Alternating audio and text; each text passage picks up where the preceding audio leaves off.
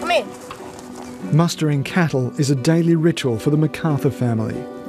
So this is what you would traditionally call coastal country. It's traditional breeder country. The MacArthurs have worked the property just inland from the coast for four generations.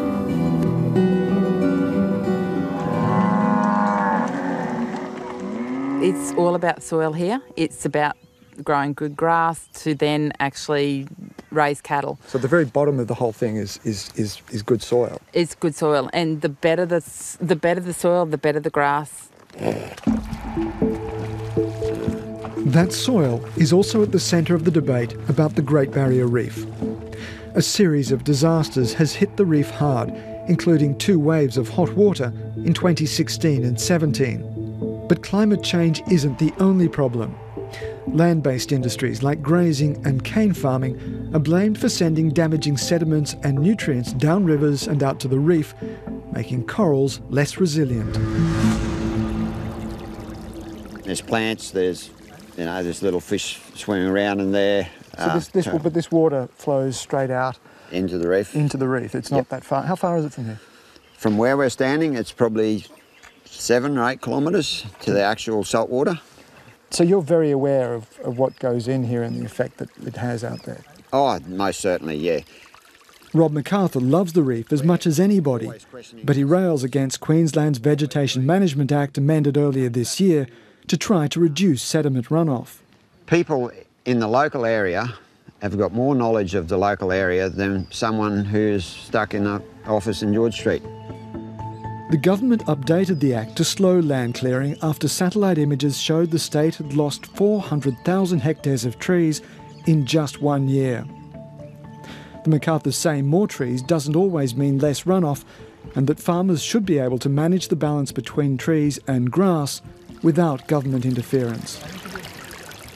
This is our asset, we don't want it out in the reef. Maintaining ground cover and grass cover is, is paramount in our in our management. And by doing that, we're not just protecting ourselves, we're actually protecting something that, that the greater population are, are certainly concerned about. I don't think anyone's suggesting that graziers are solely responsible yeah. for it, but the argument is that this is one of the contributing uh, causes of, of sediment runoff. Is it? Do, you know, do you, do you accept that? No. No. No.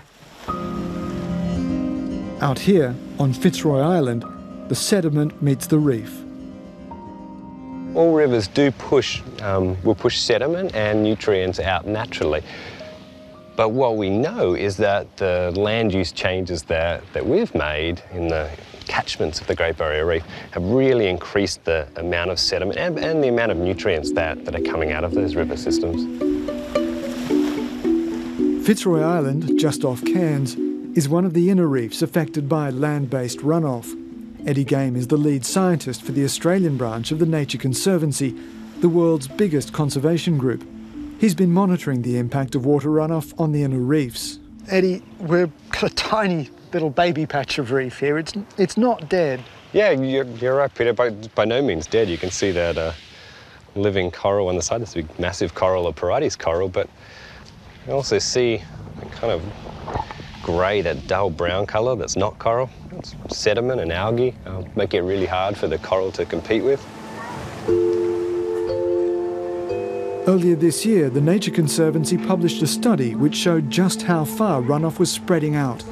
The results shocked them. In big wet seasons like the one we saw in 2010, 2011, the runoff from the Burdekin carried nutrients or elevated nutrients on reefs over an area of about 500 kilometres, sort of north-south, all the way up here. Yeah, yeah. Interestingly, nearly 400 kilometres, over 400 kilometres went north and about 100 kilometres went south. And that, and that, we know that elevated the nutrient levels on nearly 400 reefs across the GBR. The biggest plan ever devised for the reef lies at the heart of all policy decisions. It's called Reef 2050. The original targets called for 80% reduction in nutrients, 50% in sediment. Those water quality targets are highly ambitious, and the Queensland Government is under intense pressure to prove it's taking action. The MacArthurs believe their industry is taking the fall. I don't think the problems on the reef are overstated, but I definitely think they're used for political agendas. Well, we just feel like we get taken for granted and we're just something that can just get pushed aside.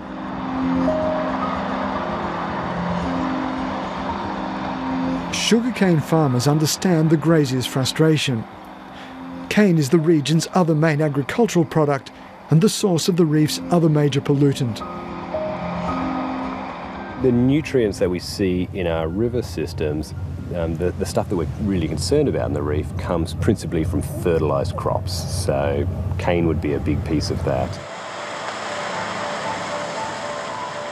The Reef 2050 report says 78% of man made nutrients in the water come from fertiliser used on farms across the region. Those nutrients feed outbreaks of harmful algae and the crown of thorns starfish. This now is at best practice. Paul Gregory runs one of the biggest cane farms around Cairns. I love this part of the country. I love the fact that you know I'm custodian here for a while and, and trying to do the best I can with, with what was left um, to me by my father. The pressure on cane farmers to reduce nutrients running into the waterways has forced him to redesign his farm and reduce his fertiliser use to 30% of what it was a decade ago. When I wake up in the morning in 2018 and look at the jobs in front of me and compare that to 1978 and looked at the jobs in front of me, it's totally different. For years, farmers were deeply suspicious of computer models that showed the pollutants running off their land. Paul says trust is being rebuilt by treating cane farmers as part of the solution rather than the problem. Growers are now changing practice and it's voluntary. And there's programs in place from federal and state government that actually help us to do that. So that relationship is intrinsic to the future of this industry and intrinsic to the future of the Great Barrier Reef. But runoff in Queensland is still way short of targets. Without better results, the threat of government intervention looms. I guess my biggest fear is that we get regulated out of existence and the reef still dies.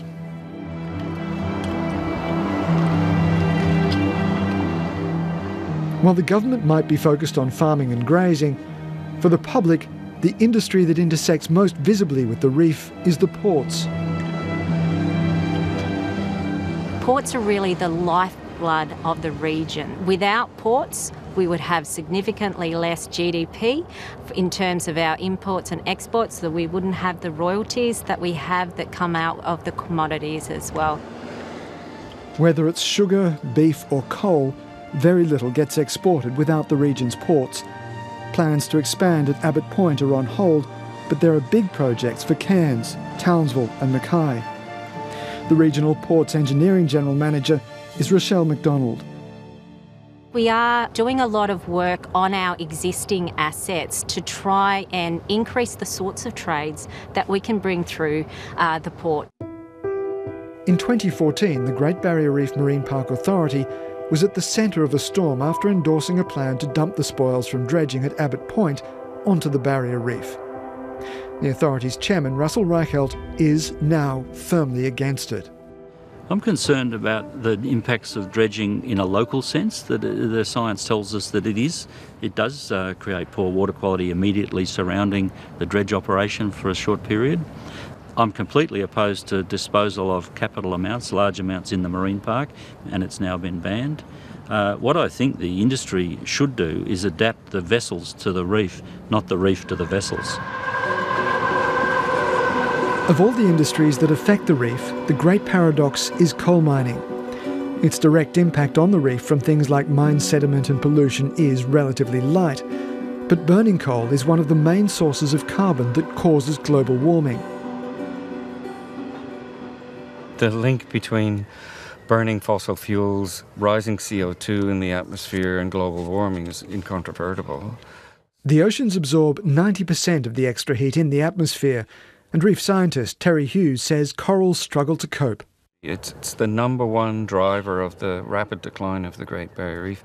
We can't fix everything else and ignore climate change. It's not going to work. I think there'll always be there will always be coal. I, I'm, I'm pretty sure there'll always be coal.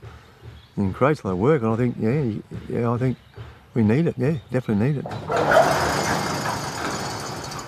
Tony McGrath was a coal miner all his life. He used to drive graders and trucks on the Peak Downs mine until he retired four years ago. Do you think Australians really value and appreciate the, the job of the miners? Yeah, I think so. It creates a lot of work. I think. Yeah, I, I think. Um, yeah, I, I think they do. Yeah. The staunch ALP and union member is part of an important political constituency fighting for mining jobs.